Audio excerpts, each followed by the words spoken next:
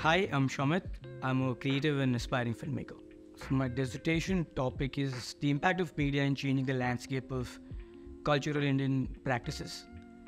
And for that, I'm doing a documentary. And I've picked a case study of a South Indian harvest festival called Onam. Personally, I've realized like I'm very intrigued by culture in general. And I was looking for festivals to cover. So I traveled all the way to Kerala, which is in South India. I was there for like a week and I filmed quite a bit of stuff there.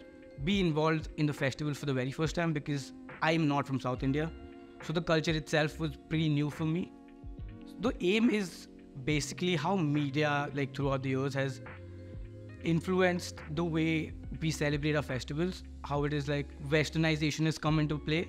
How we look at things, how we celebrate. It's like a lot has been done for like social media.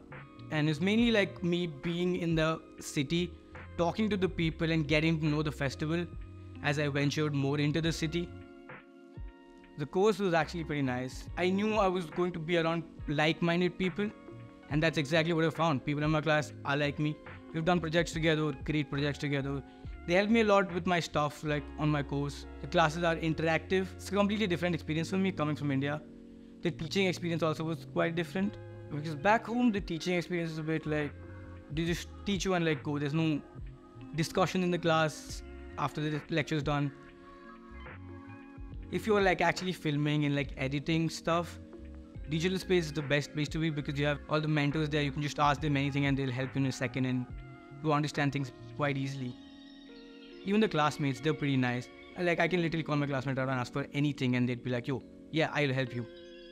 This documentary is biggest project I've done. So I hope this helps me be the filmmaker I want to be.